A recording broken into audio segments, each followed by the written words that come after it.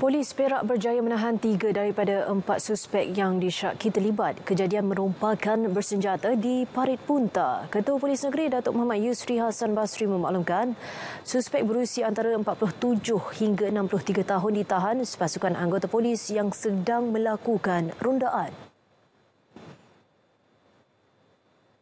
Menurut beliau, kesemua suspek enggan memberi kerjasama ketika cuba ditahan dengan melibas pedang ke arah anggota selain cuba melarikan diri. Polis kemudian terpaksa melepaskan tembakan bagi memberhentikan kenderaan suspek. Tiga daripada empat suspek berjaya ditahan manakala identiti seorang lagi suspek yang lolos telah dikenal pasti dan sedang dikesan. Terdahulu kesemua suspek merompak seorang lelaki berusia 51 tahun di Pasar Parit Bunta dengan pergelangan tangan mangsa ditetak. Kes disiasat di bawah Seksyen 394 dan Seksyen 307 Kanun Keseksaan serta Seksyen 39 Akta Senjata Api 1960.